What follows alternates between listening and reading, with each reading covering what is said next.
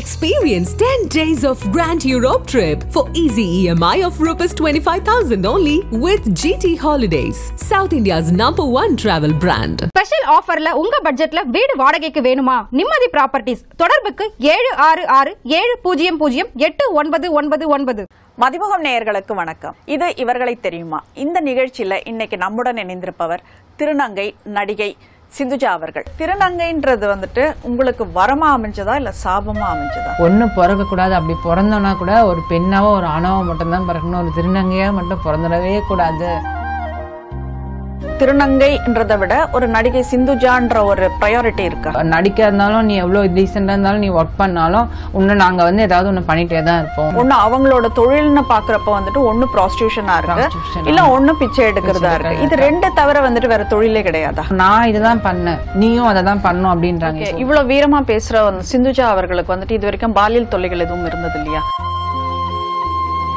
ஒரு சில பேர் அதுவும் நைட் டைம்ல தான். திருமண முயற்சிகள் ஏதாச்சும் நடந்ததா? வந்து நான் யோசிச்சிருக்கேன். ஒரு ஆணை காதலிக்கணும் கல்யாணம் பண்ணணும் அந்த மாதிரி ஆசை இருக்கு. இல்ல நம்மளும் குழந்தை பெத்துக்க முடியாதா. குழந்தை பெத்துக்கணும் அப்படின்ற ஆசை எல்லாம் இருக்கு. நமக்கு விரோதியாக இருந்தா கூட அவங்க வீட்ல ஒரு திருநங்கை கண்டிப்பா பிறந்துடவே கூடாது. ஏன்னா அவங்க படுற கஷ்டம் வேதனை வந்து அதை சொல்லவே முடியாது.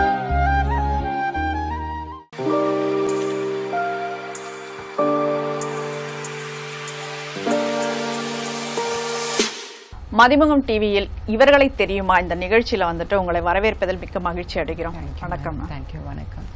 நீங்க திருநங்கை இப்ப சிந்துஜான்றவர் வந்துட்டு ஒரு திருநங்கைன்ற அடையாளத்தோட தான் வந்துட்டு வெளி உலகத்துக்கு தெரிஞ்சிருக்கீங்க. இப்போ வந்துட்டு ஒரு நடிகைன்ற ஒரு பட்டமும் உங்களுக்கு கிடைச்சிருக்கு.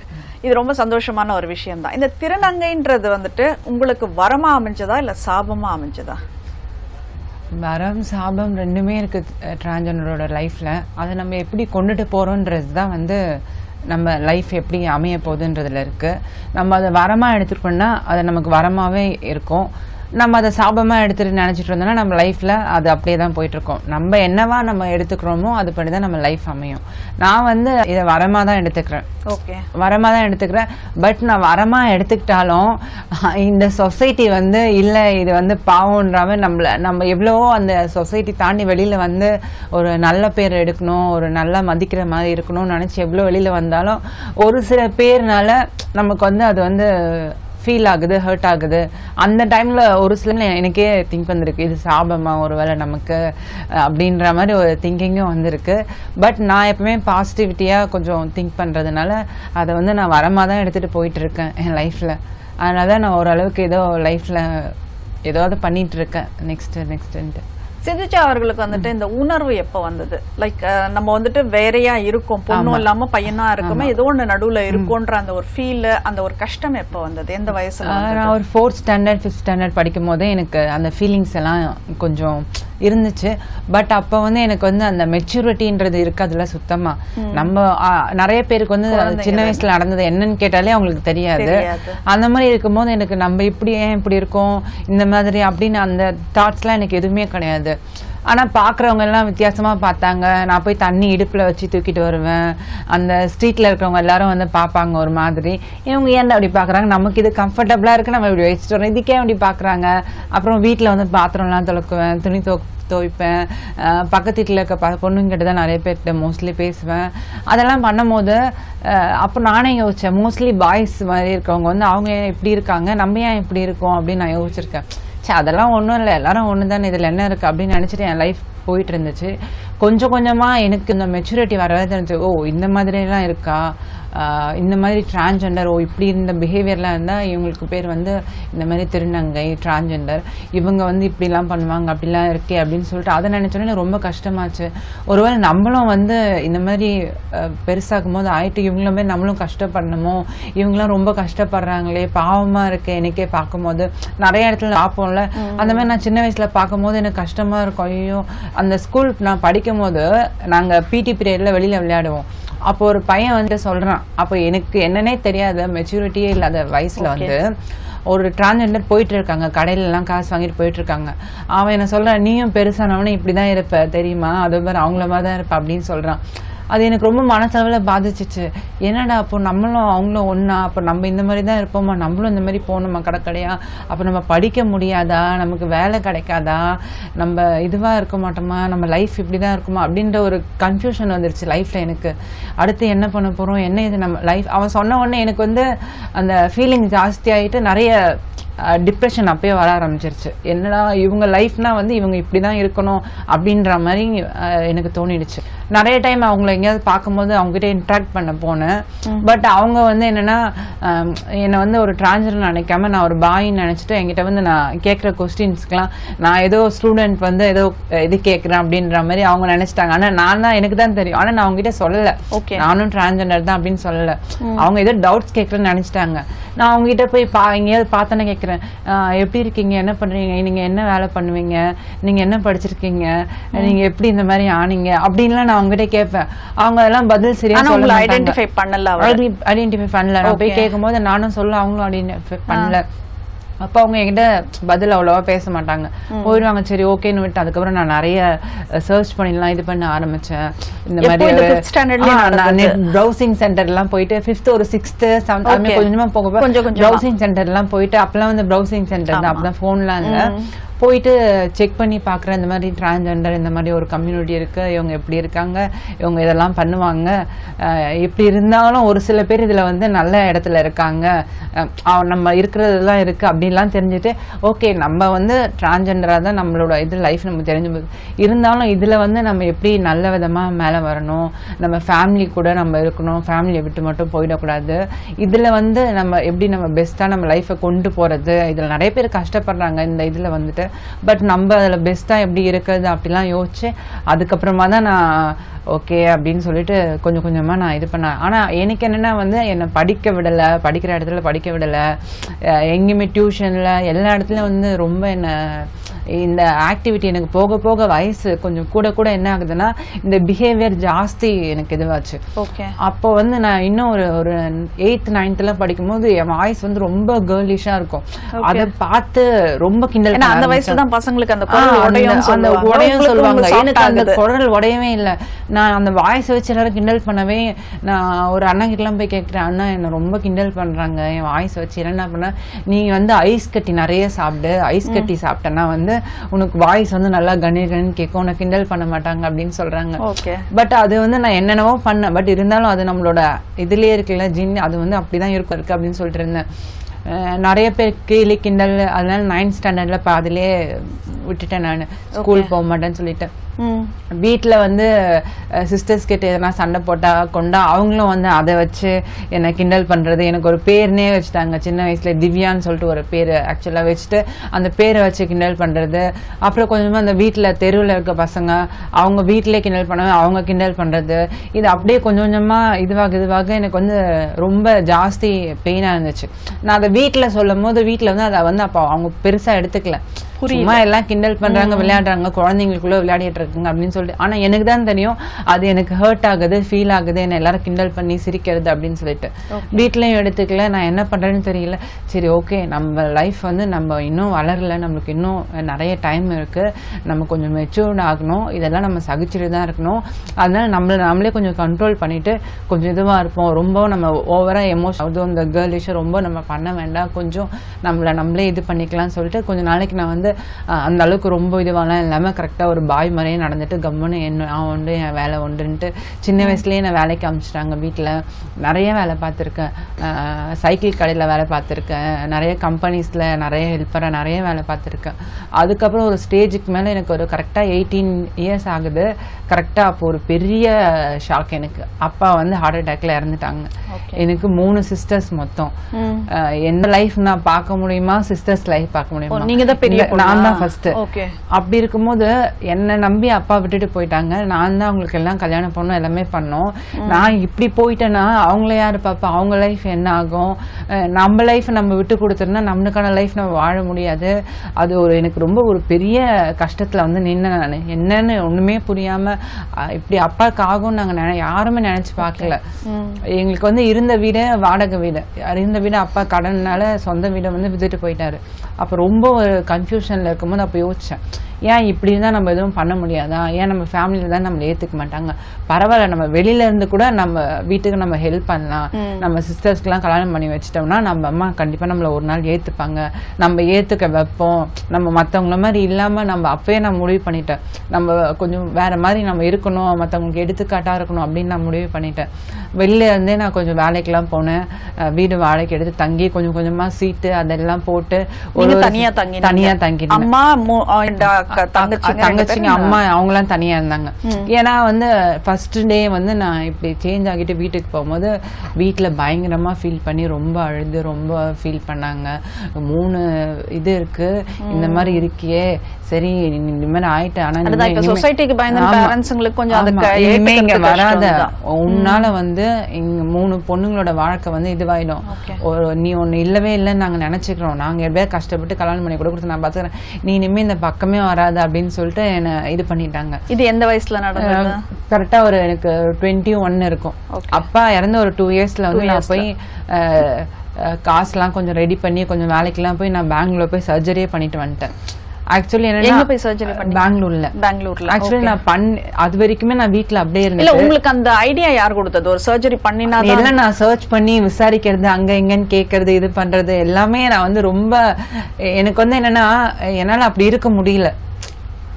ஒரு ஒரு அந்த உடம்புல என்னால இப்படி இருக்க முடியல. எனக்கு ஒரு கேர்ளா இருக்கணும். நம்ம இப்படிதான் இருக்கணும். நம்ம இப்படிதான் மாறணும். இப்படி இருந்தாலும் நம்ம ஒரு கட்டாயத்துல மாறுனீங்களா? இல்ல விருப்பப்பட்டு மாறுனீங்களா? விருப்பம். என்னோட விருப்பம். என்னோட விருப்பத்தினாலதான் என்னோட விருப்பம் வந்து என்னன்னா சீக்கிரமா நம்ம கட்டாயம்னா அடுத்தவங்க கட்டாயம் கேட்கல இப்ப என்னோட பாடி இப்படி சேஞ்ச் ஆயிடுச்சு. நான் அடுத்தவங்களுக்காக எல்லாம் வந்துட்டு நான் சகிச்சுக்க முடியல. அவங்க என்ன ஒதுக்குறதெல்லாம் வந்துட்டு எனக்கு கார்னர் பண்றதெல்லாம் ரொம்ப வலிக்குது. நம்ம அப்படியே மாறலாம். அந்த மாதிரி ஒரு ஆ, கட்டாயத்துல அந்த. மாதிரி ஒரு கட்டத்துல தான் நான் என்ன பண்ணேன்னா இவங்க நம்ம இப்போ பாயா தான் இருக்கோம்னு நம்மள கேர்ள் மாதிரி வச்சு கிண்டல் பண்றாங்க. நம்ம கேர்ளாவே ஆயிட்டா அதுக்கப்புறம் இவங்க என்ன சொன்னா நம்ம எனக்கு என்ன வந்துச்சு? நீ சொன்னாலும் சொன்னாலும் நான் கேர்ள் தான்டா. நீ என்ன வேணாலும் சொல்லிக்க வேணாலும் பண்ணிக்கோ.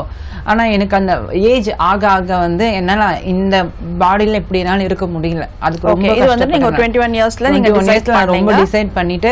ஆனா வீட்ல எல்லாம் யார்கிட்டயும் நான் சொல்லவே. இல்லை. சொல்லல.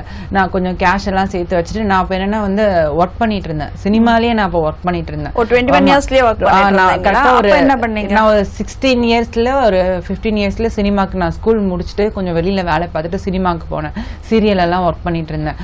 டச் அப் பாய் தான் ஒர்க் பண்ணிட்டு இருந்தேன். நிறைய ஆர்டிஸ்ட்லாம் ஒர்க் பண்ணிட்டு இருக்கேன். அப்போ ஒர்க் பண்ணிட்டு இருக்கும் போதே நான் என்ன நினைச்சேன்? கொஞ்சம் காசு சேர்த்து வச்சுட்டு திரும்ப வந்து நம்ம சினிமால வேலைக்கு திரும்பி நம்ம போகலாம் நமக்கு தான் வேலை இருக்கு. வீட்ல நம்ம எப்படியாவது பேசி கன்வின்ஸ் பண்ணிடலாம். அப்படியெல்லாம் நான் நினைச்சிட்டு நான் போய் பண்ணிட்டேன். பண்ணிட்டு வீட்டுக்கு வரேன். அப்போ வந்து நான் வரும்போது சர்ஜரி நிறைய பேர் வந்து ட்ரெஸ் சேஞ்ச் எல்லாம் ஃபர்ஸ்ட் பண்ணிடுவாங்க. அதுக்கப்புறம் தான் அவங்களோட சர்ஜரி எல்லாம் அதுக்கப்புறம் பண்ணுவாங்க நான் என்னன்னா ஃபர்ஸ்ட் நம்ம ட்ரெஸ் சேஞ்ச் பண்ணும்போதே நம்ம கம்ப்ளீட்டா மாறி தான் இருக்கணும் அப்படின்ற ஒரு மைண்ட் தாட் எனக்கு எல்லாமே இருந்துச்சு 16 yearsல கொஞ்சம் நீங்க சினி. ஃபீல்ட்ல வரப்ப பையன் மாதிரி தான் பையன் மாதிரி தான் பண்ணிட்டு dress இருந்தீங்க. So, பண்ணிட்டு உங்களுக்கு பையனா தான் இருந்தேன். treat ஆமா. ஆமா. கொஞ்சம். கொஞ்சமா வந்து நான் ஹேர்லாம் வளர்க்க ஆரம்பிச்சதுக்கு அப்புறம் அங்க போயிட்டு ஷூட்டிங் இருக்குன்னு சொல்லிட்டு நான் பெங்களூர் போய் சர்ஜரி பண்ணி வீட்டுக்கு வந்துட்டேன் வீட்டில் யாரும் பயங்கர ஷாக்கு பயங்கர இது. வீட்டை விட்டு அமுச்சிட்டாங்க. எங்கே போகிறதுன்னு தெரியல. ஒரு தெரிஞ்ச ஒரு அக்கா வந்து என்ன பண்ணாங்க? ஒரு மெரினா பீச்சில் நான் உட்காந்துட்டு இருக்கேன் அங்கே வந்து அவங்க வந்து டோக்கன் வந்து இந்த பாத்ரூம்க்குலாம் யூஸ் டோக்கன் கொடுப்பாங்களா? அந்த மாதிரி ஒரு அக்கா உட்காந்துட்டு இருக்காங்க நீ ஏன் இங்கேயே உட்காந்துட்டு இருக்க என்னாச்சு? ஏதாச்சுன்னு என்னை கேட்டாங்க. இந்த மாதிரி நான் வீட்டில இருந்து வந்துட்டேன்க்கா. வீட்டில் என்னை சேர்த்துக்கல. இப்போ நான் வேலைக்கும் போனேன். என்கிட்ட எதுவுமே இல்லை. என்ன பண்ணுறது தெரியல. ட்ரெஸ் இல்லை. இப்படி இருக்காங்க்கா அப்படின்னு சொன்னோடனே அவங்க சரி எனக்கு வீடு என் வீட்டில் வந்து வந்து இருந்துக்கோ. நான் வந்து மோஸ்ட்லி இங்கே தான் இருப்போம். நானும் எங்கள் ஹஸ்பண்டும் இங்கேயே கூட நாங்கள் தூங்கிப்போம். நீ வேணா என் வீட்டில் அவங்க வீடு வந்து ஒரு சின்ன வீடு. ஒரு ஓடு போட்டு ஒரு சின்ன வீடு ஒரு சின்ன இது வந்து அங்கே என்னை தங்க வச்சாங்க தனியாக அங்கேருந்து நான் என்ன பண்ணுறதுன்னு யோசிச்சேன். ஏதாவது ஒரு வேலைக்கு போகணும் என்ன ஒன்று இது பண்ணணும்னு சொல்லி சினிமாவில் திரும்பி போய் ட்ரை பண்ண ஆரம்பித்தேன் என்ன பண்ணாங்கன்னா எல்லாரும் நான் இந்த மாதிரி சேஞ்ச் ஆகிட்டேன்றதுனால நான் அவங்க வேலை தான் கேட்குறேன். நான் வந்து சேஞ்ச் ஆகிட்டேன்னு சொல்லி நான் அவங்ககிட்ட என்கிட்ட காசு பணமோ இல்லை எனக்கு ஹெல்ப் பண்ணுங்க இல்லை எனக்கு ஏதாவது கொடுங்க அப்படின்லாம் நான் யார்ட்டும் கேட்கல நான் ஒர்க் பண்ண எல்லாருக்குமே வந்து நான் கால் பண்ணி எனக்கு திரும்பவும் வேலை கொடுன்னு கேட்குறேன் ஒருத்தர் கூட எனக்கு வேலை தரல ஐடியாவே இல்லை. உனக்கு ஏதாவது ஹெல்ப் என்ன சொல்லு பண்றோம். இல்ல ஆள் இருக்காங்க வேலை இருக்காங்க அப்படி. நான் வந்து அவங்க கிட்ட எல்லாமே சொல்லிட்டேன். உண்மையை சொல்லிட்டு தான் நான் கேட்கறேன் அவங்க கிட்ட ஆஹ் யாருமே எனக்கு வேலை தரத்துக்கு முன் வரல. நிறைய இடத்துல வேலைக்கு போய் கேட்டேன் அங்கேயும் முன் வரல. ஆக்சுவலி இவங்க டிரான்ஜெண்டர் கம்யூனிட்டியில் ஒரு சில பேர் அந்த ஏரியால வந்து அவங்க என்ன சொல்றாங்க நீ மாறிட்டாலும் மாறிட்டாலே இப்படிதான். ஒண்ணு வந்து நீ காலையில டைம்ல போய் பிச்சை எடுக்கணும். நைட் ஆனால் நீ இப்படி போகணும். இது ரெண்டு ஆப்ஷன் தான் வேலையே கிடையாது. நீ இப்படி தான் இருக்கணும். இதுதான் உன் லைஃப் இப்படி ஆயிட்டா நீ இப்படி தான் நீ என்ன நினச்சி லைஃப்பில் நீ எல்லாமே பண்ண முடியும்னு நினச்சா எல்லாம் பண்ணிட முடியுமா? எல்லாமே நடந்துருமா? இதுதான் லைஃப் நம்மளோட லைஃப் இதை விட்டு நம்ம வெளியில் வர முடியாது அப்படின்னாங்க. நான் இல்லை நான் எப்படியாவது நான் இது பண்ணி சமாளித்து வருவேன். அப்படி இப்படின்னு சொல்லி இது பண்ணி நான் பியூட்டிஷியன் படித்து அப்புறம் பியூட்டிஷியன் கொஞ்ச நாள் பார்லர்லாம் ஒர்க் பண்ணி அப்புறம் இந்த பிரைடல் மேக்கப் போடுவாங்கள்ல அந்த மேக்கப் அந்த ஃபங்க்ஷனுக்கு அந்த மாதிரிலாம் வந்து நான் கஸ்டமர்ஸ் பிடிச்சி ஃபங்க்ஷனுக்கு அந்த மாதிரிலாம் மேக்கப் போட ஆரம்பித்தேன் அதுக்கப்புறம் கொஞ்ச நாளைக்கு முன்னாடி ஒரு ஃபோட்டோஸ் ஒரு இதில் வந்து ஃபோட்டோஸ் கொடுத்து ஒரு மேனேஜர் கேட்டிருந்து ஃபோட்டோ அந்த ஒரு டேரக்டரி மாதிரி சினிமா டேரக்டரி மாதிரி அதில் ஃபோட்டோஸ்லாம் கொடுத்து அதை பார்த்துட்டு ஒரு மூவி ஆடிஷன் கூப்பிட்டு தான் திமிரு பிடிச்சுவேன். அதுக்கப்புறம் அங்கே போயிட்டு தான் நான் வந்து கொஞ்சம் கொஞ்சமா என் லைஃப் அடுத்து அடுத்து எடுத்துட்டு போனேன். நம்ம நெக்ஸ்ட் என்ன பண்ணலாம் இல்ல வாழ்க்கையில வந்துட்டு ஒரு நல்ல ஒரு ஷைன் ஆக போறோம் அப்படின்றது விஜய்- இவர் விஜய் ஆண்டனி சார் தான் பண்ணி போன கொடுத்தாரு உடனே உங்களுக்கு. சினிமால வந்து நம்மளே இதுல ஒர்க் பண்ணோம். இப்ப நமக்கே வந்து ஒருத்தங்க இது பண்றாங்க. நம்ம கேமரா பண்ணி போக போறோம் அப்படின்ற ரொம்ப எக்ஸ்பெக்டேஷன் இதுக்கப்புறம் நம்மள நம்ம நிறைய மாத்திக்கணும்னு சொல்லிட்டு என்கிட்ட ஸ்டார்டிங்ல எதுவுமே இல்ல. ஆதார் கார்டு எதுவுமே இல்ல. எங்க போனாலும் எல்லா இடத்துலயும் வந்து நிறைய கேள்விங்க அது இதுன்னு கேட்பாங்களே தவிர நம்ம நெக்ஸ்ட் என்ன பண்ணணும்? இன்னும் உனக்கு இந்த ப்ரூஃப் என்ன இது என்ன பண்ணணும் அப்படின்ற மாதிரி யாருமே ஹெல்ப் பண்றதுக்கு வரல. எல்லா இடத்துலயும் நம்பர் கேட்கறது கிண்டல் பண்றது அந்த மாதிரி தான் நடந்துட்டு இருந்துச்சு.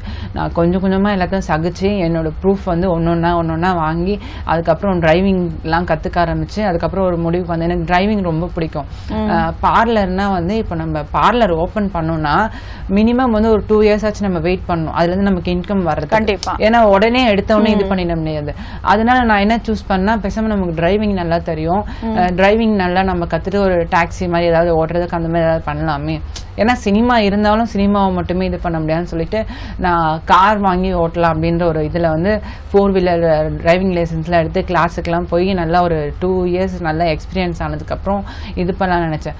பட் அப்புறம் என்கிட்ட காசு அந்த அளவுக்கு ஒரு கார் வாங்கி இது பண்ற அளவுக்கு என்கிட்ட காசு இல்லை. கொஞ்சம் இதுவா இருந்துச்சு ஏன்னா சிஸ்டர் மேரேஜ் எல்லாம் ஒரு ஒருத்தருக்குலாம் மேரேஜ் பண்ணது அது help எல்லாமே நான் தான் வெளியில இருந்து ஹெல்ப் பண்ணேன் வீட்டுக்கு.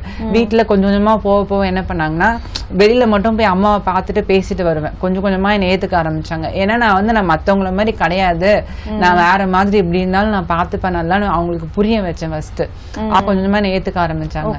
கடைசியில ஒரு அவங்க கூட வந்து ஃபர்ஸ்ட் அந்த ரெஃப்யூஸ் பண்ணதுக்கு என்ன ரீசன்னா சொசைட்டிக்கு சொசைட்டி என்ன சொல்லுவாங்க? உங்க உங்களை பார்த்தோம்னாக்கா ஆமா. உங்களுக்கு அடுத்த ரெண்டு தங்கைங்களும் தங்கைங்க அப்படிதான் ஒரு அப்படிதான் இருப்பாங்களோ நம்ம இந்த மாதிரி ஒரு ஒரு இது குழந்தை ஃபர்ஸ்ட் உங்க வீட்ல இருக்கிற ஒரு குழந்தை அப்படி இருக்கும்போது யாரா இருந்தாலுமே அப்படிதான் இது பண்ணுவாங்க. ரிலேட்டிவ்ல இருந்து இதுல இருந்து அது அதெல்லாம் அதுக்கெல்லாம் தான் ஃபர்ஸ்ட் அவங்களுக்கு பயம். ஆனா நான் இப்படி இருந்தாலும் நான் இப்படி இல்லைன்னு சொல்லி அவங்களுக்கு எல்லாம் நிரூபிச்சது பிறகுதான் என் ரிலேட்டிவ்ல எல்லாரும் என்கிட்ட பேச ஆரம்பிச்சாங்க. என்னோட சிஸ்டர்ஸோட ஹஸ்பண்ட்க்குலாம் யாருக்குமே தெரியாது. நான் இப்படி ஒரு ஆள் வீட்ல இருக்கேன்னு சொல்லிட்டு. இன்னுமே வந்து என் சிஸ்டர்ஸோட அவங்களோட ரிலேட்டிவ்க்குலாம் நிறைய பேருக்கு என்ன தெரியாது. சிஸ்டர்ஸ் ஹஸ்பண்ட்லாம் அப்புறம் அவங்களாம் ஏத்துக்க ஆரம்பிச்சாங்க. அவங்களாம் என்கிட்ட பேச ஆரம்பிச்சாங்க. இப்போ எங்க சர்க்கிள்ல எங்க ரிலேட்டிவ் எல்லாருக்குமே நல்லா தெரியும். எல்லாரும் நல்லா பேசுறாங்க. இதுக்கெல்லாம் என்ன காரணம்னா நான் லைஃப் இப்படியே போயிடுச்சு அவ்வளவுதான் லைஃப் இதான் நினைச்சு நான் உட்காந்துட்டு இருந்தேன்னா நான் இன்னைக்கு ஏதோ ஒரு மூலையில ஏதோ ஒரு இடத்துல கம்முன்னு உட்காந்துட்டு தான் இருக்க முடியும். மற்றவங்கள மாதிரி தான் நான் போய் அப்படி இல்லாம நெக்ஸ்ட் நம்ம ஃபேமிலி கூட போய் சேரணும் ஃபேமிலியும் நம்ம காப்பாற்றணும் நம்ம சிஸ்டர்ஸை காப்பாற்றணும் நமக்குன்னு ஒரு வேலையும் நம்ம தேடிக்கணும் எல்லாமே பண்ணணும்னு சொல்லிட்டு அடுத்தடுத்த கட்டத்தை நோக்கி நான் போனேன். அது போகவே தான் என்னால முடிஞ்சது. இந்த மாதிரி எல்லாருமே வந்து அஹ், நம்ம இப்படி ஆயிட்டோமே இப்படி எல்லாரும் கேலி கிண்டல் பண்றாங்களே இப்படி இருக்கோமே அப்படின்னு இல்லாம அதுல இருந்து வெளியில வந்து நெக்ஸ்ட் ஸ்டெப் எடுத்து நம்ம என்ன பண்ணணும் லைஃப்ல இதுதான் நம்ம லைஃபின் முடிவாயிடுச்சு. முடிவாயிடுச்சு இதுல பெஸ்டா நம்ம என்ன பண்ண முடியும்? அப்படின்றத யோசிச்சு அதை பண்ணணும். ஓகே இப்போ நீங்க சொன்னீங்க இல்லைங்களா ஒரு அம்மா வந்து டோக்கன் கொடுத்துட்டு இருந்தாங்க டாய்லெட்டுக்கு அப்படின்னு. அப்படி இருக்கும்போது வந்துட்டு இப்போ நம்ம யோசிச்சாக்கா இப்போ நீங்க அந்த ஃபிஃப்த் படிக்கிறப்பவே வந்துட்டு உங்களுக்கு அந்த ஒரு ஃபீல் வந்துருச்சு. இப்போ அப்போல இருந்து ஒரு வேலைக்கு போற இடத்துலயான உங்களுக்கு அந்த டாய்லெட்ன்றது ஒரு பெரிய பிரச்சனையா இருந்திருக்கும் அது இல்லையா? ஏன்னா ஜென்ஸ் போகணுமா Same. Ladies toilet Same. அதுவே பெரிய இஷ்யூ வந்து நம்ம கேர்ளா தான் பாக்குறோம் மோஸ்ட்லி டிரான்ஜெண்டர் எல்லாம் என்ன நினைக்கிறாங்கன்னா எல்லாருக்குமே வந்து நிறைய ப்ரூஃப்ல வந்து டிரான்ஜெண்டர் மாதிரி இல்ல. எல்லாருக்கும் கேர்ள்ன்ற மாதிரி தான் ப்ரூஃப்ல எல்லாருக்கும் இது பண்றாங்க. சொசைட்டிலயும் கேர்ளா பாக்குறாங்களோ இல்லையோ ஆனா நாங்க என்னன்னா எங்களை வந்து நாங்க ஒரு பெண்ணா தான் பாக்குறோம் பெண்ணா தான் இது பண்றோம். எங்களுக்கு தனியா இதுவெல்லாம் எங்களுக்கு தர வேணாம். வேண்டாம். நார்மலா கேர்ள்ஸ் போற இதுலயே எங்களுக்கு அலோட் பண்ணா கூட எங்களுக்கு போதும். அது தனியா எங்களுக்கு பண்ணுங்க இது தனியா பண்ணுங்க. ஏன்னா நாங்க சொசைட்டியோட மிங்கிள் ஆகி சொசைட்டியோட சேர்ந்து வாழதான் ஆசைப்படுறோம். ஒரு அண்ணன் தம்பி அக்கா தங்கச்சி எல்லாருக்கூடயும் நாங்க வாழணும்னு எல்லாருக்கும் ஆசை. ஆனா அவங்க தான் ஒதுக்கி வைக்கிறாங்க. அப்படி இருக்கும்போது எங்களுக்கு தனியா எல்லாமே வேணும் அப்படிலாம் நான் நினை நினைச்சது கிடையாது. இப்போ நான் ஆக்சுவலி ஆட்டோ ஓட்டுறதுனால நிறைய பெட்ரோல் பங்க்ல போயிட்டு தான் ரெஸ்ட் ரூம் போக முடியும்.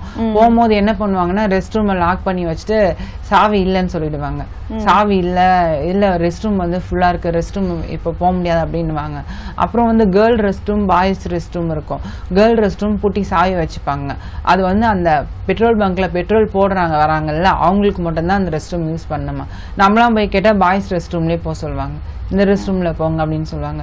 அதெல்லாம் ஒரு சில பிரச்சனை எல்லாம் இன்னும் இன்னும் இந்த சொசைட்டில நிறைய மாறல இன்னும் ஒரு சில விஷயம்லாம். நம்ம என்னதான் மாறணும். நினைக்கிறீங்களா? கண்டிப்பா நீடிக்குது. நம்ம என்னதான் மாறினாலும் மாற்றத்தை கொண்டு வரணும்னு சொல்லி நம்மள நம்ம மாத்திக்கிட்டாலும் ஆனா இந்த சொசைட்டி நம்மள பாக்குற கண்ணோட்டம் எல்லாமே நம்ம எப்படி இருந்தாலும் என்ன ஒரு வேலை செஞ்சுட்டு இருந்தாலும் நம்மள அந்த தப்பான பார்வையில தான் பாக்குறாங்க இப்ப நம்ம ஆரம்பத்துல பாத்தீங்கன்னா இப்ப இன்னைக்காச்சும் வந்துட்டு அது திருநங்கைன்னு அழகா சொல்ற மாதிரி ஒரு வார்த்தை இருக்கு. ஆனா இதுக்கு முன்னாடி நீங்க பாத்தீங்கன்னா அந்த ஒம்பது, சொல்லுவாங்க கட்டவண்டின்னு சொல்லுவாங்க. இந்த. மாதிரி நிறைய வார்த்தைகள் வந்துட்டு ஒரு. கிண்டலும் கேலியுமா இல்ல ஒரு நமக்கே வந்துட்டு மனசு வலிக்கிற அளவுக்கான. வார்த்தைகள் இருந்தது.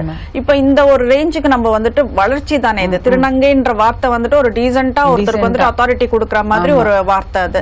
இந்த அளவுக்கு வந்துட்டு இதுல வார்த்தைகள்ல வளர்ச்சி இருந்தது வார்த்தைகள்ல வளர்ச்சி- வளர்ச்சி இருந்து மட்டும் என்ன பிரயோஜனம்? வார்த்தைகள்ல தான் வளர்ச்சி வந்திருக்கு. இவங்களோட லைஃப்ல வளர்ச்சி வரலையே. ஒரு சில பேர் தான் அதை தாண்டி வந்திருக்காங்க. ஆனா எவ்வளோ மேலே போனாலும் எவ்வளோ இதுவானாலும் அந்த ஒரு வேர்டு வந்து எல்லாருமே வந்து அவங்கள ஒரு ஒரு இதுவாக தான் பார்க்குறாங்க. என்னதானாலும் ப- இவங்க இவ்வளோ பெரிய ஆளாக இருக்காங்க. ஒரு- இதுவே ஒரு பையனும் ஒரு பொண்ணும் ஒரு பெரிய இடத்துக்கு போனால் அவங்க சாதிச்சு காமிச்சு அது ஒரு பெரிய விஷயமா கொண்டாடுற இந்த சொசைட்டி அதுவே ஒரு டிரான்ஜெண்டர் பண்ணால் அந்த டிரான்ஜெண்டரை வந்து என்ன சொல்லி கூப்பிடுது என்ன இது பண்ணுது நீங்கள் வாங்க போங்கன்னு கூட கிடையாது. இப்போ நான் ஒரு சினிமாலே நடிச்சிருக்கேன். நான் நடிக்க நடிக்கிறதுக்கு முன்னாடி வந்து எனக்கு நிறைய பேருக்கு தெரியாது. நிறைய பேர் என்ன கேர்ள்னு நினைச்சிட்டு இருப்பாங்க. நான் அதை நடிச்சதுக்கு அப்புறம் எங்கேயாவது என்ன பாக்குறாங்கன்னா பாக்குறவங்க வந்து இல்ல இது பண்ற அவங்க போறாங்க. யார் யாருந்தோ அந்த படத்துல நடிச்சாங்களே அப்படின்னு சொல்லுவாங்க. யாரா தெரியல டே ஒன்பதுடா அது அது அப்படின்னு சொல்லுவோம் அது என் காதுலே கேட்கும். நம்ம என்னதான் ஒரு சினிமால நடிச்சு நம்ம என்னதான் மத்தவங்களுக்கு எடுத்துக்காட்டாலும் இருந்தாலும் இன்னமும் ஒரு சில பேர் இந்த மாதிரி வார்த்தையை யூஸ் பண்றாங்க. அது நம்மளுக்கு ஹர்ட் ஆகு ஹர்ட் ஆகுது. இருந்தாலும் நம்ம அதெல்லாம் தாண்டி தான் போகணும். இவன்லாம் சொல்றான்னு சொல்லிட்டு நம்ம உட்காந்து கண்ணை கசக்கிட்டு அழுதுட்டு இருந்தோம்னா நம்ம என்னடா இவ்வளோ இப்படி இருக்கோம் நம்ம மத்தவங்கள மாதிரி இல்லையே. அப்போ அவங்களையும் வந்து ஒரே மாதிரி தான் ட்ரீட் பண்றாங்க. நம்ம ஒர்க் பண்ற வேலை நம்மளையும் ஒரே மாதிரி தான் ட்ரீட் பண்றாங்க. அப்படின்ற ஃபீலிங்லாம் வரும். இருந்தாலும் அவன் சொல்றவன் சொல்லிட்டு போறான் பேசுறவன் பேசிட்டு போறான். நம்ம லைஃப் நம்ம பார்த்துட்டு போயிட்டே இருப்போம். அப்படின்ட்டு நான் அதெல்லாம் அவாய்ட் பண்ணிட்டு போறது. இல்ல இப்ப நம்ம சொல்றோம். இப்ப நான் சொல்ற மாதிரி இப்ப வார்த்தைகள் மட்டும் நீங்க சொல்றீங்க. ஆனா வார்த்தைகள் மட்டும் இல்ல. இப்ப இன்னைக்கு வந்துட்டு திருநங்கைகள் இப்ப நீங்க சிந்துஜா ஒரு பெரிய நடிகை தான். இன்னும் அதுக்கப்புறம் போனா டாக்டர் இருக்காங்க. இன்ஸ்பெக்டர்ஸ் போலீஸ் டிபார்ட்மெண்ட்ல டாக்டர் டிபார்ட்மெண்ட் எல்லா இதுலயுமே வந்துட்டு திருநங்கைகளுக்கான இடம் இருக்கு. இப்ப அவங்களுக்கெல்லாம் அந்த ஹானர் கிடைக்கும்ல இல்ல? உங்கள இல்ல, ஒரு same நிலைமை வந்து? இப்போ வெளியில இருந்து பார்க்கும்போது எல்லாமே பெருசா தெரியும். எல்லாமே இதுவா தெரியும். அவங்களுக்குள்ளவே பார்த்தா அவங்களுக்குள்ள நிறைய சோகங்கள் இருக்கும். அவங்கள சுத்தி இப்போ ஒரு ஒரு ஒரு நூறு பேர் மத்தியில அவங்கள பார்க்கும்போது ஒரு பெரிய இதுவா தெரியும். அப்படியே அவங்களோட நட்பு வட்டத்துல அது கொஞ்சம் சுருங்க சுருங்க அதை போய் பார்க்கும்போது தான் தெரியும். அதுக்குள்ள எவ்வளவு பேர் அவங்கள ஹர்ட் பண்றாங்க எவ்வளவு பேர் அவங்கள இது பண்றாங்க. டிரான்ஜெண்டரை பொறுத்த வரைக்கும் நம்ம எவ்வளவு பெரிய இடத்துக்கு போனாலும் ஒரு சிலரால நம்ம ரொம்ப வந்து கஷ்டப்படுத்தப்படுறோம். அது என்ன இதுவானாலும் சரி எவ்வளவு பெரிய ஆளானாலும் சரி கஷ்டம் சொல்றது வந்துட்டு செக்ஷுவல் அபியூஸ் செக்ஷுவல் அபியூஸ் மட்டும் இல்ல வார்த்தைகளால. ஓகே வார்த்தைகளாலேயே நம்மள வந்து கஷ்டப்படுத்துறாங்க. நான் அது ஷூட்டிங் ஸ்பாட்லயே கூட நிறைய டைம் பார்த்துருக்கேன். நம்ம அங்க ஒர்க் பண்ண தான் போயிருக்கோம். வேலை இது பண்ண தான் போயிருக்கோம்.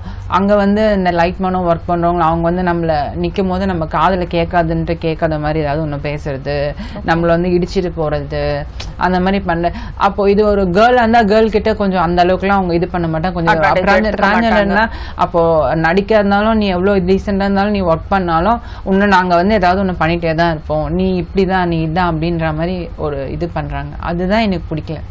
இல்ல இந்த ஏன்னா ஆரம்பத்துல வந்துட்டு பொண்ணா பையனான்ற அந்த வலிகள் இருந்தது. அதுக்கப்புறம் அந்த ஆபரேஷன் பண்றீங்க. அதோட கஷ்டம், எல்லாம் இப்ப அது ஒரு. பொண்ணா மாறினதுக்கு அப்புறமா உங்களுக்கு அந்த ஃபுல் ஃப்ரீடம் அது கிடைக்கலன்றது கிடைக்கல. ஒரு கஷ்டமான ஒரு விஷயம் தான். இப்ப. நீங்க நடிகையா போயிருக்கீங்க. நடிகை இப்போ சாதாரணமாவே ஒரு ஹீரோயின் அப்படின்னு பாக்குறப்போ ஒரு சினி ஃபீல்ட்ல இந்த அட்ஜஸ்ட்மெண்ட்ன்ற ஒரு பிரச்சனை இருந்துட்டு இருக்குது. அவங்களுக்கு நிறைய பேர் பகிரங்கமா வெளியில சொல்ல ஆரம்பிச்சிட்டாங்க. உங்களுக்கெல்லாம் எப்படி இருந்தது? எனக்கு வந்து என்னென்னா நான் ஒர்க் பண்ண படத்தில் இது வரைக்கும் வந்து எனக்கு அந்த மாதிரி வந்து அட்ஜஸ்ட்மெண்ட் அப்படியெல்லாம் பேசுனதில்லை ஏன்னா நம்ம நடந்துக்கிற விதம் நம்மளோட பேசுகிற விதம் நம்மளோட ஆக்டிவிட்டி நம்மளோட பிஹேவியர்லே நம்மளுக்கு தெரியும். நான் வந்து எல்லாருக்கும் ஒரு ஒரு படம் கமிட் ஆகுறேன்னா அந்த படத்தில் வந்து எல்லாருக்குமே டேரக்டர்ஸ் கிட்டேருந்து ஹீரோ ஆகட்டும் எல்லாருக்கிட்டையும் வந்து நான் ரொம்ப நான் நான் வந்து நிறைய பேர்கிட்ட வந்து நான் புரிய வைப்பேன். நானும் உங்களை மாதிரி தான் நான் எனக்கும் ஈக்குவல் இது இருக்குது உங்களை மாதிரி தான் நான் நான் டிரான்ஜெண்டர் எப்பவுமே தப்பாக மட்டும் பார்த்துறாதீங்க அப்படின்ற மாதிரி நான் உங்ககிட்டலாம் பேசுவேன். நான் பேசுற விதத்திலே வந்து அவங்க பற்றி தெரிஞ்சுப்பாங்க. அதனால வந்து மோஸ்ட்லி என்கிட்ட வந்து இந்த மாதிரி அட்ஜஸ்ட்மெண்ட்டோ இந்த இதுவோ நல்ல ஒரு ஃப்ரெண்ட்லியாக தான் எல்லாரும் பழகிருக்காங்க ஃப்ரெண்ட்ஸ் மாதிரி எங்க எனக்கு வந்து நான் ஒரு படம் ஒர்க் பண்ணுறேன்னா அந்த படத்தில் வந்து ஒரு ஒரு ஒன் வீக்கில் வந்து அந்த படத்தில் இருக்கிற இருக்கிற டீமில் எல்லாருமே என்னை புரிஞ்சுப்பாங்க.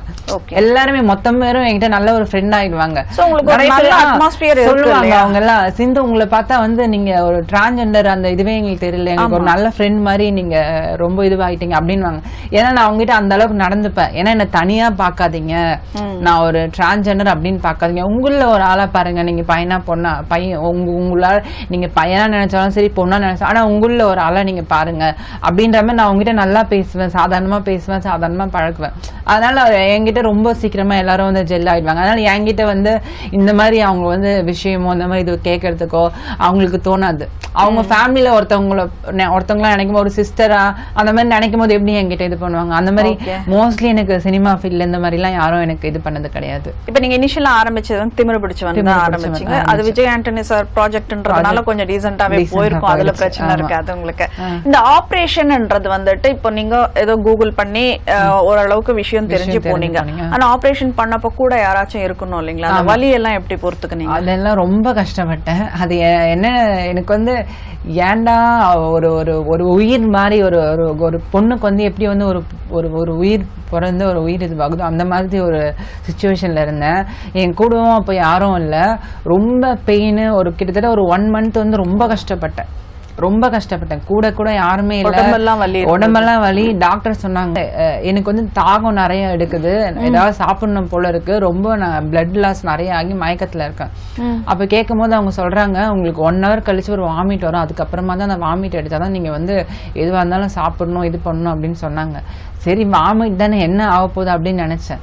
அந்த வாமிட் வரும்போது என்னோட உயிரே போயிட்டு எனக்கு திரும்பி என் உயிர் எனக்கு வந்த மாதிரி இருந்துச்சு. அந்த மாதிரி ஒரு பெயின் அது வந்து வார்த்தையால என்னால சொல்ல முடியல. அது அந்த அந்த இதுவானதுக்கு அப்புறம் அதுக்கப்புறம் அந்த தண்ணி குடிச்சா எனக்கு திரும்ப அடுத்த ஜென்மம் எடுத்து வந்த மாதிரி இருந்துச்சு.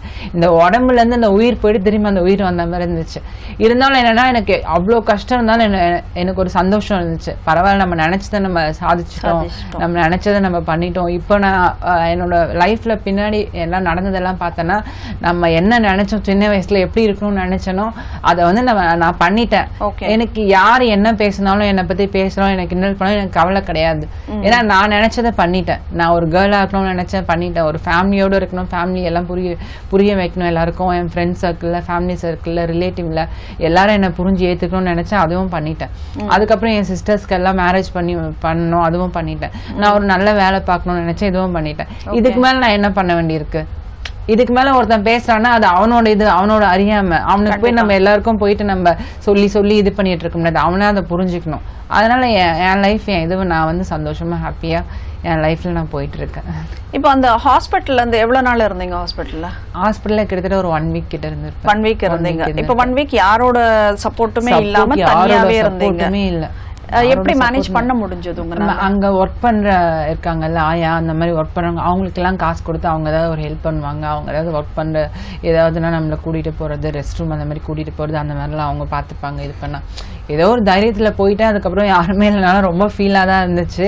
கொஞ்சம் என்னதான் நம்மளுக்கு வந்து காசு கொடுத்து வேலை செய்யறவங்க ஆள் வந்தாலுமே நமக்குன்னு ஒருத்தங்க யாருன்னா ஒருத்தங்க இருந்து நம்மள பாத்துக்கிற விதம் வந்து வேற மாதிரி இருக்கும். ஏன்னா நம்ம பிரைவசியை இது பண்றாங்க. அப்படின்றப்போ வந்துட்டு ரொம்ப நெருக்கமானவங்க கூட கொஞ்சம் அதெல்லாம் கஷ்டமா தான் இருந்துச்சு. என்ன என்ன நினைச்சிட்டுனா நான் எவ்வளவு கஷ்டப்படுறோம் பின்னாடி நம்ம நல்லா இருப்போம். இதெல்லாம் வந்து நம்மளோட நமக்காக தான் நம்மளா தேடி நம்மளா பண்ணிக்கிட்டது தானே. அது கஷ்டமோ நஷ்டமோ எது வந்தாலும் நம்ம தான் இது பண்ணணும். இதுல இருந்து தான் தாண்டி வெளியே வரணும் அப்படின்னு நினைச்சிட்டு ரொம்ப இது இப்ப நீங்க தன்னிச்சையா உங்க செல்ஃப் இன்ட்ரெஸ்ட்ல நீங்க பண்ணிருக்கீங்க சர்ஜரி இல்லைங்களா? இப்ப நிறைய பேர் வந்துட்டு இந்த திருநங்கைகளோட அந்த அந்த ஃபேமிலின்னு பார்க்க போனா அவங்க என்ன சொல்றாங்க? ஒரு அம்மா தத்து எடுக்கணும் அவங்க தான் வந்துட்டு பூஜை பண்ணணும். அந்த பூஜை பண்ணணும். ஃபார்மாலிட்டிஸ் எல்லாம் சொல்றாங்க. அதெல்லாம் வந்து இருக்கு. ஸ்ட்ரான்ஜெண்டர் சொசைட்டில இருக்கு. நான் இல்லைன்னு சொல்லல. அதெல்லாம் என்னன்னா வந்து இவங்களா உருவாக்குனது எல்லாமே. இவங்க. இப்படி இருக்கணும் இப்படிதான் பண்ணணும் அப்படிதான் பண்ணணும். எனக்கு இன்னமும் வந்து நிறைய பேருக்கு வந்து என்னை வந்து பிடிக்காது. ஏன்னா வந்து நான் தனியா இருக்கேன் நான் ஃபேமிலியோட இருக்கேன். அவங்க கூட வந்து ரொம்ப ஜெல்லாக மாட்டேன் அவங்க கூட இருந்தா அவங்களுக்கு ஏதாவது செய்யணும். அவங்களுக்கு அவங்கள வந்து நம்ம வீட்ல எப்படி ஃபேமிலியை பா எனக்கு வந்து அம்மானா ஒருத்தங்க தான் நம்மள பெத்தவங்க வந்து அம்மா. அவங்க அம்மான்னு வேணா சொல்லிக்கலாம். ஆனா அதே அஃபெக்ஷன் அதே அன்பு வந்து உண்மையா எனக்கு உண்மையா இருக்கணும்னு நான் நினைக்கிறேன். அவங்கள அம்மான்னு வேணா கூப்பிடலாம். ஒரு டிரான்ஜெண்டர்ல ஒருத்தவங்க அம்மா நினைக்க ஆனா அம்மா கிட்ட இருக்கிற அதே பாசம் அதே இது அவங்க கிட்ட நம்ம கொடுக்க முடியாதுல்ல. அது சொந்த- சொந்த அம்மா அப்பா அவங்க கிட்ட இருந்தா நான் கிடைக்கும். அவங்களும் நம்ம கொடுக்கறதும் சரி. நம்ம அவங்க கிட்ட காமிக்கிறதும் அது அது நம்ம பெத்த அம்மா கிட்ட தான் கிடைக்கும் அந்த பாசம் அந்த அன்பு.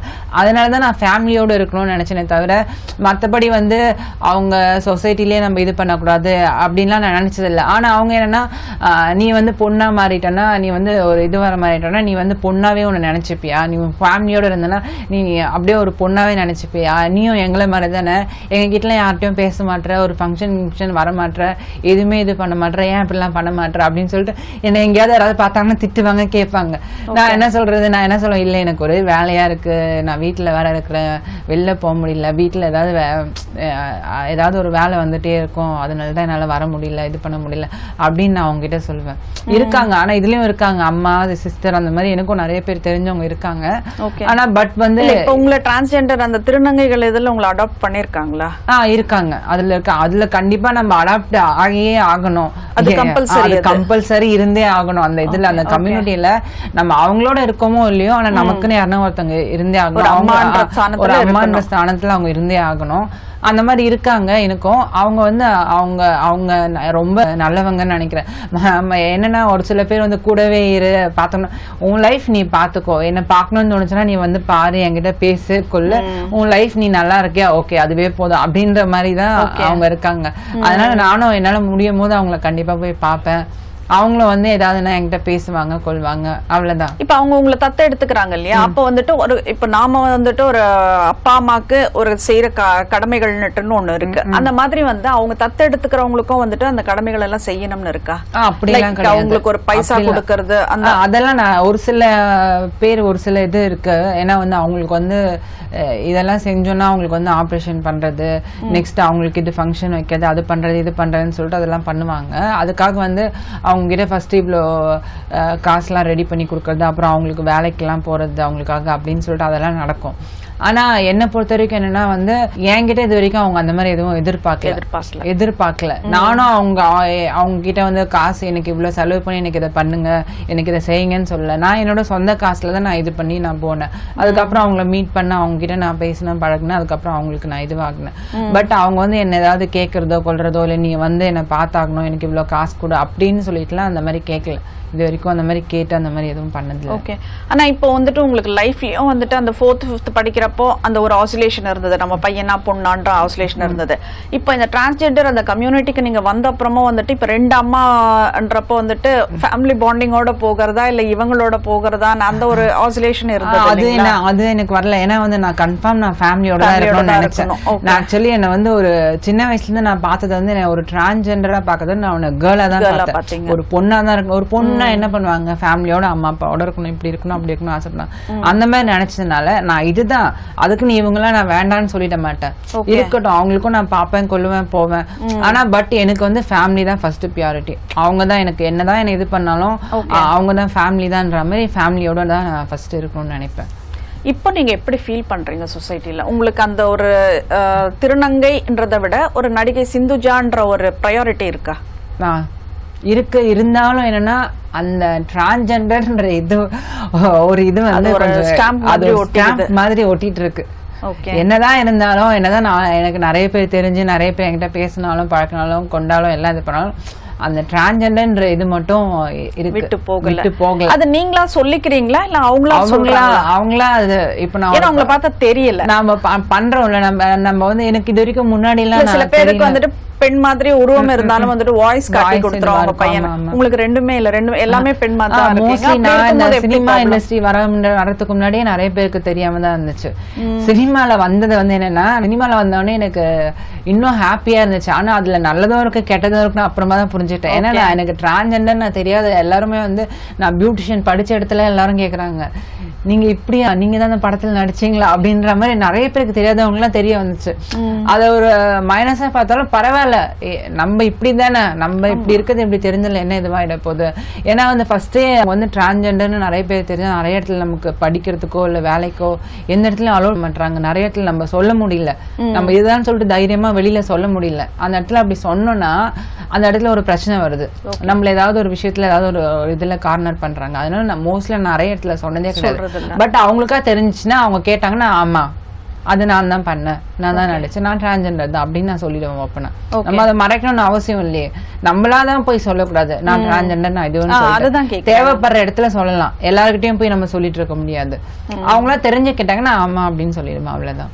இப்ப நீங்க படிச்சது ஃபிஃப்த் வரைக்கும் படிச்சிருக்கீங்களா? இல்ல நான் நைன்த் ஸ்டாண்டர்ட் வரைக்கும் நைன்த் ஸ்டாண்டர்ட் அதை விட்டுட்டேன். நைன்த் வரைக்கும் ஒரு பையனா தான் படிச்சீங்க. பாய்ஸ் ஸ்கூல்ல அந்த மாதிரி தான் படிச்சீங்க. இப்போ நடிகையா வந்ததுக்கு அப்புறம் இந்த திமிர பிடிச்சவன் வந்துட்டு உங்களுக்கு ஒரு அட்ரஸ் கொடுத்தது. சிந்துஜான்றவங்க ஒரு நடிகை அப்படின்ற ஒரு அட்ரஸ் கொடுத்தது. அதுவும் வந்துட்டு ஒரு ஸ்ட்ராங்கான ஒரு ஸ்ட்ரிக்டான போலீஸ் ஆபீசர்ன்றத வந்துட்டு ஒரு நல்ல ஹைலைட் பண்ணி காட்டினது.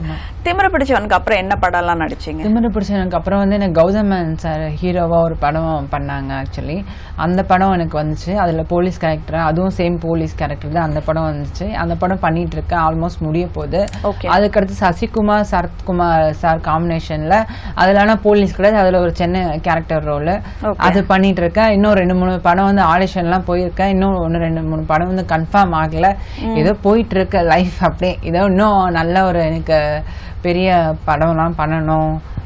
இன்னும் நிறைய இது பண்ணணும்னு ஆசை இருக்கு. பார்க்கலாம். இப்ப திமிர பிடிச்சவனுக்கு அப்புறம் வந்துட்டு இந்த ஆப்பர்ச்சுனிட்டிஸ் எல்லாம் உங்களுக்கு எப்படி கிடைச்சது? அது அப்படியே கான்டாக்ட் மூலமா. மோஸ்ட்லி வந்து அந்த படத்தை பார்த்தாங்கன்னா திமிரு பிடிச்சவங்கள மேனேஜர் யார் இருந்தாங்க அவங்க கிட்ட கான்டாக்ட் பண்ணி அவங்க இது பண்ணி அவங்க அந்த நம்பர் வாங்கி எடுத்த உடனே ஃபர்ஸ்ட் என்கிட்ட யாராவது யாரையும் யாரா- chance நம்மளா. போய் அப்ரோச் பண்ணா நமக்கு அந்த இடத்துல வந்து மரியாதை கிடைக்க மாட்டேங்குது. இப்போ ஆல்மோஸ்ட் வந்து ஒரு டிரான்ஜெண்டர் கேரக்டர் நம்ம இண்டஸ்ட்ரியில தேவைப்படுதுன்னா அதுல கண்டிப்பா ஒரு ஆப்ஷனா நானும் வந்துடுறேன். மோஸ்ட்லி நிறைய. பேருக்கு தெரிஞ்சிருச்சு அதுல ஆப்ஷனா வந்துடும். அப்படி இருக்கும்போது ஏதாவது ஒரு கேரக்டர்னா அதுல நமக்கும் ஒரு ஆப்ஷனா வரும். நம்மளும் ஆடிஷன் கண்டிப்பா கூப்பிடுவாங்க அப்படி இருக்கும்போது நம்மளா இதுக்கு தேடி தேடி போகணும்? நான் அந்த மாதிரி ஒரு சில இதில் ரெண்டு மூணு இடத்துல போயிட்டு நான் தேடி போய் பார்த்ததுனால வந்து எனக்கு அந்த இடத்துல மரியாதையும் இல்லை. ரொம்ப எனக்கு இதுவாச்சு. ஒரு இது இல்லாம போச்சு. அதனால என்ன பண்ண நமக்கு வரும்ன்றது கண்டிப்பா வரும். நம்மள ஒரு ஆப்ஷனா கண்டிப்பா எல்லா இடத்துலயும் நம்ம இருக்கோம். அது வரும்போது நம்ம கண்டிப்பா அவங்களுக்கு போய் நம்ம பர்ஃபார்ம் பண்ணி காமிச்சு நம்ம பேசுற விதத்துல கண்டிப்பா நமக்கு அந்த சான்ஸும் கிடைக்கும். நம்மளா போய் தான் வந்து இது பண்ணணும்னு அவசியம் இல்லை அப்படின்னு சொல்லிட்டு நான் அது ஒரு பக்கம் போயிட்டு இருக்கேன் என் ஒர்க் ஒரு பக்கம் போயிட்டு இருக்கேன் அவ்வளவுதான். சினி ஃபீல்டுக்கு வரதுக்கு முன்னாடி வந்துட்டு எல்லாரும் சினி ஃபீல்டு வந்தா நம்ம ஒரு பெரிய மாற்றம் கிடைக்கும். நம்ம ரொம்ப உயரத்துக்கு போயிடுவோம் அப்படின்ற நம்பிக்கையில தான் எல்லாருமே வந்துட்டு அஹ், வெளியூர்ல இருந்தெல்லாம் வந்து சென்னையில தேடிட்டு வந்து. நிறைய பேர் வாழ்க்கை இழந்தவர்கள் எல்லாம் உண்டு ஆனா வந்து ஒன்ஸ் சினி ஃபீல்டு வந்தாங்கன்னாக்கா அவங்க லைஃப் டோட்டலா சேஞ்ச் நல்லா ஹைலைட் ஆகுற அளவுக்கு இருக்காங்க. சிந்துஜா அவர்கள் வந்துட்டு இப்ப இத்தனை படங்கள் நீங்க சொல்றீங்க திமிரு பிடிச்சவனுக்கு அப்புறம் இத்தனை வந்துட்டு ஆன் ப்ராசஸ்ல இருக்குன்னு சொல்றீங்க. இப்ப ஆனா நீங்க வந்துட்டு உங்களோட தொழில் ஆட்டோ ஓட்டுறதுன்னு பண்ணிட்டு இருக்கீங்க.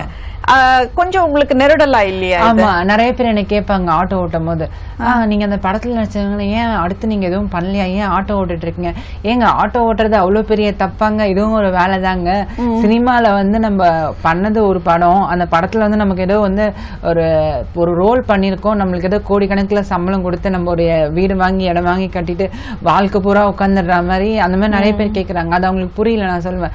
இல்லங்க அது வந்து இவ்வளவு நாள் தான் வேலை இருக்கும். இவ்வளவுதான் சேலரி தருவாங்க. அந்த அளவுக்குலாம் கிடைக்காது. என்னன்னா அதுல ஒரு பேர் கிடைக்கும். நானும் வந்து அதை பணம் அதுல போய் சம்பாதிக்கணும். அதுல வந்து நம்ம பெரிய ஆளாகணும் அப்படிலாம் நான் நினைக்கல. என் சொசைட்டிக்கு எல்லாருமே வந்து ஈக்குவலா இருக்கணும்னு சொல்லிட்டு அதுல ஒரு நல்ல ஸ்டோரி கிடைச்சு இந்த சொசைட்டியை கொஞ்சம் மேலே எடுத்துட்டு போனா எனக்கு அது ரொம்ப ஒரு பெரிய விஷயமா இருக்கும். நம்மளுக்கு நாலு பேர் மரியாதை கொடுக்கணும் மதிக்கணும் இந்த மாதிரி இருக்கவங்கள அப்படின்றதுக்காக தான் நான் சினிமாவில் பண்ணிட்டு இருக்கேன் அதில் வர சின்ன சின்ன கேரக்டரும் பண்ணிட்டு இருக்கேனே தவிர அதுலேயே நான் நிறைய சம்பாதிக்கணும் அதுலேயே நான் இது பண்ணணும் பெரிய ஆளாக ஆளாகணும் க இது பண்ணணும். அந்த மாதிரிலாம் எனக்கு ஆசையும் கிடையாது. அந்த மாதிரி இதுவும் கிடையாது. அந்த மாதிரி கேரக்டரும் டிரான்ஜெண்டர் ரோல்ன்றது வந்து ஒரு பத்து படத்துல ஒரு படத்துல தான் க- இருக்கும். அந்த மாதிரி எல்லா படத்துலயும் வந்து எல்லாரையும் யூஸ் பண்ணிட மாட்டாங்க. அதனால ஒரு சில படம் பண்றேன். அதை வரதை வச்சு அதை பார்த்துக்கிறேன். அதே மாதிரி சைடில் வந்து நான் ஆட்டோவும் ஓட்டிட்டு என்னோட லைஃப் நான் பார்த்துட்டு இருக்கேன். ஆட்டோ ஓட்டுறப்போ இந்த பிரச்சனை உங்களுக்கு இருந்ததா? நீங்க ஒரு திருநங்கைன்றது ஒரு பிரச்சனை வந்துட்டு ஏதாச்சும் ஒரு வகையில உங்களுக்கு உருவாச்சுங்களா? ஆ நிறைய உருவாயிருக்கு. ஆட்டோ ஓட்டும் போது ஏன்னா நீங்க யூனிஃபார்ம் போட்டுட்டு போறப்ப சிந்துச்சா தெரியாது இல்லையா? தெரிஞ்சு ஒரு சில பேர் கேட்பாங்க ஒரு சில பேர் தெரியாத இருப்பாங்க. ஒரு சில பேர் நைட்ல வந்து குடிச்சிட்டு அன்வான்டா வந்து வண்டியில உட்காந்துட்டு இருக்கும் போது தேவையில்லாத பேசிட்டு வருவாங்க. ஆட்டோலயே உட்காந்து ஸ்மோக் பண்ணுவாங்க. அந்த மாதிரிலாம் நிறைய பிரச்சனை வந்திருக்கு. எல்லா இடத்துலயும் நான் என்ன பண்ணுவேன்னா ஃபர்ஸ்ட் வந்து ஒரு பொறுமையா அவங்களுக்கு வந்து புரிய வைப்பேன். எடுத்த உடனே அவங்க கிட்ட ரூடா பேசுறதோ சண்டை போடுறதோ அதனால நமக்கு ஒன்றும் ஆக போறது கிடையாது.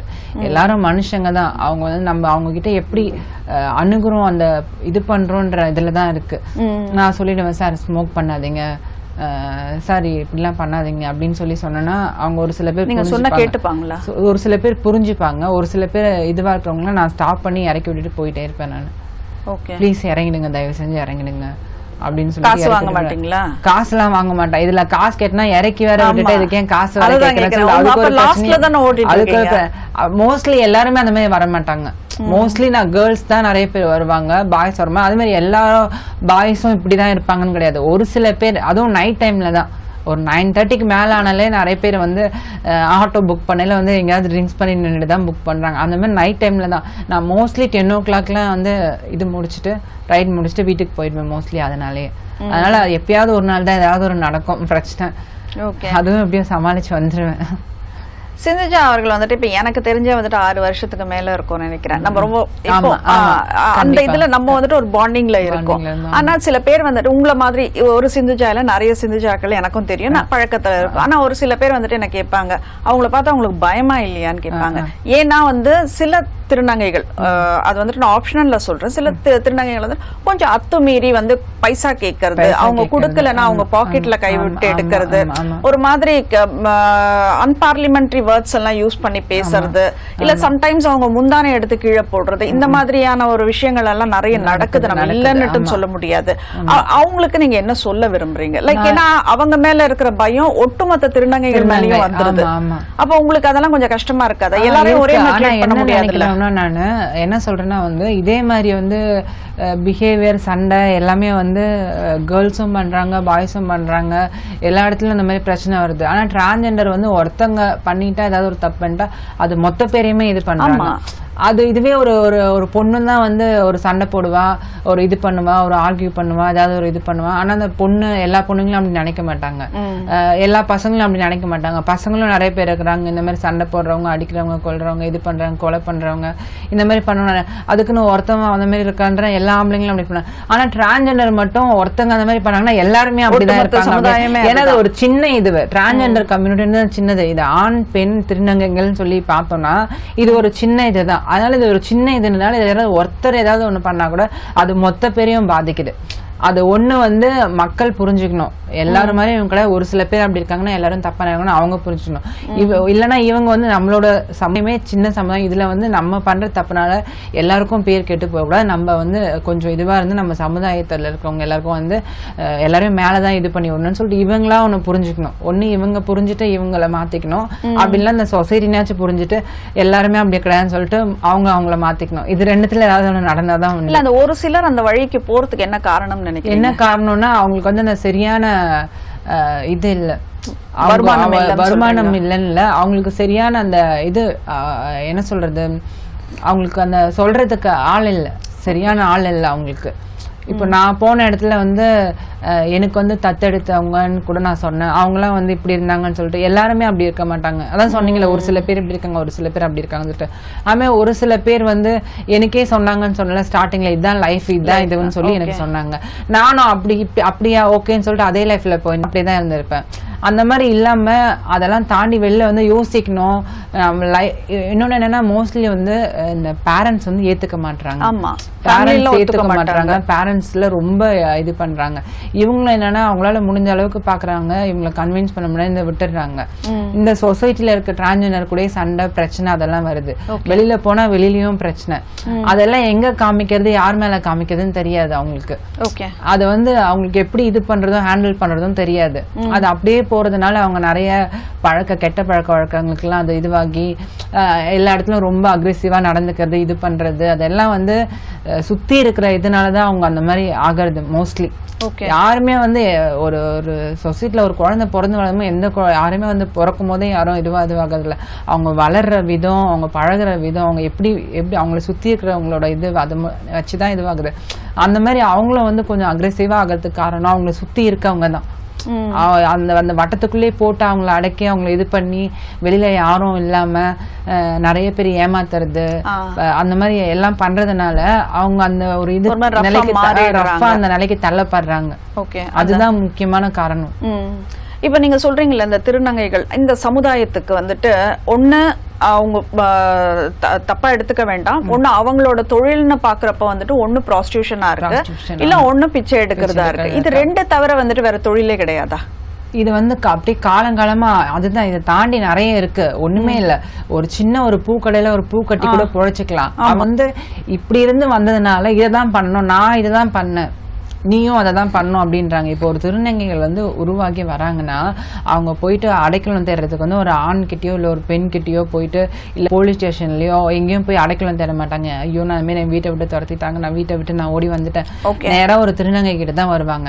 அப்படி வரும்போது அந்த திருநங்கை வந்து அவங்கள வந்து நீ என்னமா படிச்சிருக்க? நீ ஏதாவது வேலை செய்யற என்ன பண்றேன்னு சொல்லிட்டு அவங்க வந்து அவங்களுக்கு வந்து ஒரு லைஃப் கொடுத்தாங்கன்னா அது நல்லா இருக்கும். அப்படி இல்லாம மோஸ்ட்லி இருக்கவங்க என்ன பண்றாங்கன்னா நான் அவங்க நான் நிறைய இன்டர்வியூல சொல்லியிருக்கேன். அவங்க என்ன பண்றாங்கன்னா மோஸ்ட்லி நான் இதுதான் பண்ணேன் நீயும் இதைதான் பண்ணணும் நமக்கு இதை விட்டா வேற வழி இல்லை. அப்படின்றாங்க. இதனால என்ன ஆகுது? அப்படியே வர வர வர இந்த ஜெனரேஷன் இதே தான் பண்ணிட்டு இருக்கு சுத்தி. அப்படி இல்லாம இந்த மூத்த திருநங்கைகள்ல வந்து நிறைய பேர் நல்ல விதமா நிறைய பேர் படிக்க வைக்கிறாங்க. இப்ப இந்த பிரத்திங்க ஆசன் இருக்காங்களா அவங்க கூட தத்தெடுத்தவங்க தான் அவங்கள படிக்க வச்சிருக்காங்க. அவங்களுக்கு நிறைய மோட்டிவ் பண்ணிருக்காங்க அந்த மாதிரி நிறைய பேர் இருக்காங்க திருநங்கை. அந்த மாதிரி திருநங்கைகள் கொஞ்சம் இது பண்ணி இவங்கள அடுத்த லெவல் கொண்டு வந்தாங்கன்னா அது நம்ம சொசைட்டிக்கு நம்ம பண்றது தான். நம்ம நினைச்சா நம்மளுக்கு நல்லதும் பண்ண முடியும் நம்ம கெட்டதும் பண்ண முடியும். அந்த மாதிரி வர திருநங்கைகள் வந்து மூத்த திருநங்கைகள் வந்து புதுசா வரவங்க வந்து அவங்களுக்கு ஒரு படிப்போ இல்ல அவங்களுக்கு ஒரு வேலை வாய்ப்போ கண்டிப்பா அமைச்சு கொடுத்தா அவங்களும் சந்தோஷமா அதை செய்வாங்க. கண்டிப்பா. அது இப்ப இருக்கிற காலகட்டத்துல கண்டிப்பா பண்ணலாம். ஏன்னா திருநங்கைகள் நிறைய வேலையில இருக்காங்க நிறைய பொறுப்புல இருக்காங்க. கண்டிப்பா பண்ணலாம். ஆனா அதை பண்ணாம வந்து நிறைய பேர் வந்து நீ இதுதான் பண்ணணும் இதைதான் செய்யணும்னு சொல்லி சொல்றதுனால அவங்களும் அதுல போயிடுறாங்க. ஓகே அந்த மாதிரி நீங்க ஒரு. வேலை வாய்ப்புன்னுட்டு நீங்க போறப்போ ஒரு ஆபீஸ்ல ஒரு ஓப்பனிங் ஒரு இன்டர்வியூ அட்டன் பண்றது இதுக்கெல்லாம் திருநங்கைகளுக்கு ஆப்பர்ச்சுனிட்டிஸ் இருக்குன்னு ஆப்பர்ச்சுனிட்டிஸ் நிறைய நிறைய இருக்கு. நிறைய இருக்கு.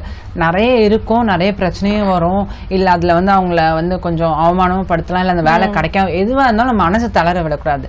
ஏன்னா நீ இதுதான். இதுதான் உன்னோட வாழ்க்கை. நீ இதுதான் இதுலதான் நீ போய் போய் ஆகணும். இதுக்கு மேல என்ன ஒண்ணும் மாத்த முடியாது. அதுல நீ எது வேணாலும் எது வேணாலும் அதை பாத்துக்கலாம் அதை தாண்டி நம்ம போலாம் அப்படின்னு நினைச்சு நீ தைரியமா அடி எடுத்து வச்சு வந்துட்டேன்னா நீ யார் சொல்றதும் யார் இது பண்றதும் உன் காதுல கேட்கவே கேட்காது. உன் வேலையை நீ பார்த்துட்டு போயிடலாம். என்னைக்குமே வந்து மனசை மட்டும் தளர விட்டுறக்கூடாது. ஐயோ இப்படி இருக்கே இப்படி இருக்காங்களே அப்படின்னு நினச்சி உட்காந்துட்டிங்கன்னா அது முடிஞ்சு போச்சு. அப்படி இல்லாமல் யார் என்ன சொன்னாலும் என்னால் முடியும். நீங்கள் சொல்கிறீங்களா லைஃப் இதுதான் டிரான்ஜெண்டர் லைஃப் பிச்சை எடுக்கணும் பாயல் அது இல்லை. நான் அதை மீறி நான் வேற ஒரு வேலை பண்ணுவேன். நானும் இந்த சமுதாயத்தில் மற்றவங்கள மாதிரி ஈக்குவலாக நான் நடந்துப்பேன். அப்படின்னு சொல்லிட்டு ஒரு ஒரு திங் திருநங்கையும் அவங்களோட மனசில் வரணும். ஓகே இவ்வளவு வீரமா பேசுற சிந்துஜா அவர்களுக்கு வந்துட்டு இது வரைக்கும் பாலியல் தொல்லைகள் எதுவும் இருந்தது இல்லையா இல்ல அந்த தொழிலுக்கு வந்துட்டு ஒரு கம்பல்ஷன் எதனா இருந்தது? அதெல்லாம் நிறைய நடந்திருக்கு. அதெல்லாம் அதுதான் சொல்றேனே அது நிறைய நடந்திருக்கு நிறைய விதத்துல இதுவா இருக்கு. ஆனா நான் அதை தாண்டி வெளியே வந்துட்டேன். என்னால அந்த மாதிரி இருக்க முடியல. நான் வந்து ஒரு பெண்ணை தான் நினைக்கணும்னு நினைச்சேன். நான் வந்து ஒரு ஃபேமிலியா இருக்கணும் ஒரு பெண்ணா இருக்கணும் அந்த மாதிரி தான் நினைச்சேன். பட் என்ன நிறைய விஷயத்துல அந்த மாதிரி ஃபோர்ஸ் பண்ணும்போது நான் அதுல அதெல்லாம் வெளியில வந்து இல்ல நான் இப்படிதான் இருப்பேன். அப்படின்னு சொல்லிட்டு அதெல்லாம் தாண்டி வந்துட்டேன். பட் நார்மலாவே கேர்ள்ஸுக்கு எல்லாருக்குமே நார்மலாவே எல்லா பிரச்சனை எல்லா இதுவும் நடக்கும். பர்டிகுலர் டிரான்ஜெண்டர்னு தெரிஞ்சிருச்சுன்னா அது நிறையவே நடக்கும். அந்த மாதிரி எனக்கு நிறைய பிரச்சனைகள்லாம் நடந்திருக்கு. அதுல இருந்து நான் என்ன என்ன பண்ணியிருக்கேன்னா அதுல இருந்து நிறைய விஷயம் கத்துக்கிட்டு எப்படி நடந்துக்கணும் எப்படி இருக்கணும் எப்படி பேசணும் என்ன பண்ணணும் அப்படின்னு நிறைய விஷயத்த நான் அதுல இருந்து கத்துக்கிட்டேனே தவிர அதை ஒரு கஷ்டமா பார்க்கல அதுக்கு அடுத்து திரும்பி இந்த விஷயம் நடக்காம இருக்கிறதுக்கு என்ன பண்ணணுமோ எப்படி இந்த லைஃபை இது பண்ணி ரன் பண்ணி போகணுமோ அதுல நான் இது பண்ணி போயிட்டு இருக்கேன். திருமண முயற்சிகள் ஏதாச்சும் நடந்ததா? திருமண முயற்சிகள்லாம் எதுவுமே இல்லாம நான் அது வந்து எல்லா திருநங்கைகளுக்கும் வந்து ஒரு ஆசை இருக்கு. ஒரு பெண்ணா மாறணுன்றதை விட ஒரு ஆண் ஒரு ஆணை காதலிக்கணும் கல்யாணம் பண்ணணும் அந்த மாதிரி ஆசை இருக்கு. இல்ல நம்மளும் குழந்தை பெத்துக்க முடியாதா குழந்தை பெத்துக்கணும் அப்படின்ற ஆசைலாம் இருக்கு. எனக்கும் அந்த ஆசைலாம் இருந்துச்சு. நான் எனக்கும் ஒரு சில பேர் லவ் பண்றேன்னு சொல்லிட்டு பண்ணாங்க. ஆனா நிறைய பேர் மோஸ்ட்லி வந்து லவ்னு சொல்லிட்டு நம்ம கொஞ்சம் தெரியாத வயசுல அந்த இதுல வர்றதெல்லாம் லவ்னா அந்த அளவுக்கு இதுவா இருக்காது. அது மாதிரி நிறைய பேரால நான் ஏமாந்து தான் போயிருக்கேன். ஒரு கட்டத்துக்கு மேல லைஃப் எனக்கு இதுதான் தெரிய அஹ் இப்ப நான் கல்யாணம் பண்ணி எனக்கு குழந்தை பிறந்தா அதுதான் என்ன குழ- குழந்தையா? என் இப்போ என் சிஸ்டர் இருக்காங்க அவங்களுக்கு கல்யாணம் பண்ணி அவங்களுக்கு குழந்தை அதுவும் என் குழந்தை மாதிரி தானே? அதுவும் எனக்கு குழந்தை தானே? இப்போ அ- அவங்க எல்லாம் லைஃப் நல்லா வாழுமா? அதை பார்க்கும்போது அது நான் வாழ்ந்ததுக்கான ஒரு இது மாதிரி இருக்கு.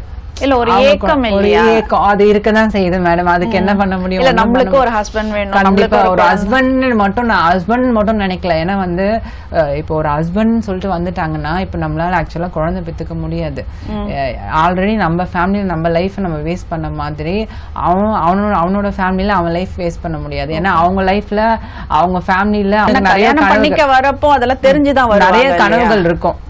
நிறைய அவங்க வீட்ல கனவுகள் இருக்கும். அவங்களுக்கு கல்யாணம் பண்ணி வைக்கணும் குழந்தை பிறக்கணும் அந்த குழந்தைய கொஞ்சம் அவங்க நம்ம அவங்களோட கனவுகளை கலைக்க கூடாது. நம்ம லைஃப் தான் நம்ம இது பண்ணிட்டோம். அவங்கள ஒரு ஒரு பையனை வந்து நான் காதலிச்சோம் அவன் லைஃபையும் நான் கெடுக்க விரும்பல.